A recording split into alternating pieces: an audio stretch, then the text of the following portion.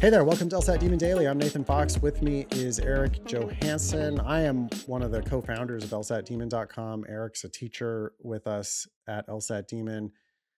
Erik, we have an email in front of us from Anonymous. Anonymous writes Hi, LSAT Demon. I'm an international applicant applying this cycle. I've been out of school for four years and I spent one year working at a US company and then two years at a company outside of the US. I have two letters of recommendation from professors, but I noticed a few of the schools I'm applying to strongly require an employer letter of recommendation for applicants with significant work experience. I wonder if anonymous means strongly recommend because strong like can you can you strongly require something No. In LSAT terms, requires means requires. Yeah. So there's no such thing as strongly requiring. It's just, it's like you can't strongly kill someone, right? Like if you killed them, they're dead. And there's no strongly about it. It either is or is not a killing. It either is or is not required. So and i uh, i am unaware of law schools that require professional there there probably there probably are but i i imagine that most if they want to see one would just say hey it's recommended Yeah, I mean, taking them at their word strongly requires means it's required. do it you So do you it. have to do it. Yeah. If that's a typo, though, if anonymous meant strongly recommends, depends on how confident you are that that letter would be strong yeah. I, and I would still try to try to do it try to get that strong letter of recommendation from a professional source but if it's going to water down your application then Yeah. maybe you don't anonymous has a couple of questions. You want to Yeah. read these? yeah anonymous asks do does three years count as significant work experience would it reflect badly on me to not submit an employer letter of recommendation what do you think about that oh yeah, it's strongly required for applicants with significant work experience. So significant work experience is open to your interpretation. But I mean, I would tell you that there's a bit of peril for not submitting a professional letter of recommendation here because you are either telling them I'm violating your requirement or you're telling them my work experience is not significant Hmm. Why would your work experience be not significant if you graduated four years ago? or you're telling them I couldn't get someone to write me a letter Yeah. of recommendation. Right. Um, so does three years count as significant work experience? For a lot of people, Yeah. it would. Yeah. I think so. Yeah. To, I'm, I'm thinking about where I was three years after graduation, and I f- felt like I had had significant work experience. Have you even been with us for three years yet? Uh, it's been about three years. Yeah, You're- uh-huh.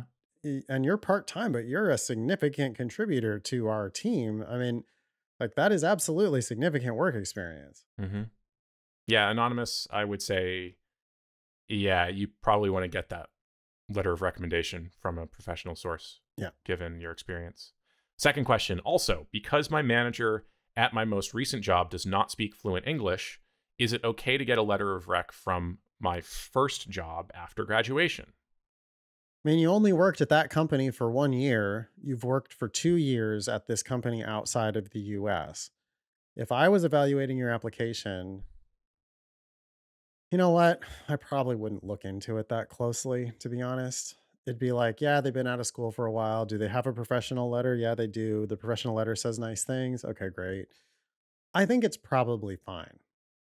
You're no, you're meeting the requirement or the recommendation if it you know you just gotta is it going to be an enthusiastic letter are they going to say nice things about you does this person who you're going to get write you the letter know who you are they worked closely with you they're going to say nothing but good things about you on this letter of recommendation if that's the case then no problem but your current boss you know just because they don't speak fluent english doesn't mean they can't write this letter and if they would say really if they guaranteed are going to go to bat for you you can help them with the writing part. I mean, they have to submit the letter without you seeing it uh, at the point of submission.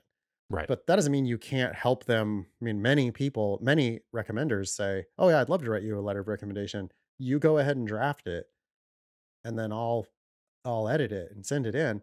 There's Mhm. nothing wrong with you helping this person write a letter, and they could just upload it just like that if you wanted. So there Yep. are solutions here. Just because they aren't fluent in English doesn't mean they can't submit this letter for you. Yeah. But I do think it sounds pretty much like Anonymous should get should put a professional rec- uh, letter into their record here. I agree. I think it's a question mark. Uh, if you if you don't have it's not gonna it's not gonna sink your application. But it is something that if you're a highly selective law school looking for any reason to doubt an applicant, oh, they've worked for three years, but they don't have a letter of rec from an employer. Hmm. I wonder why that is.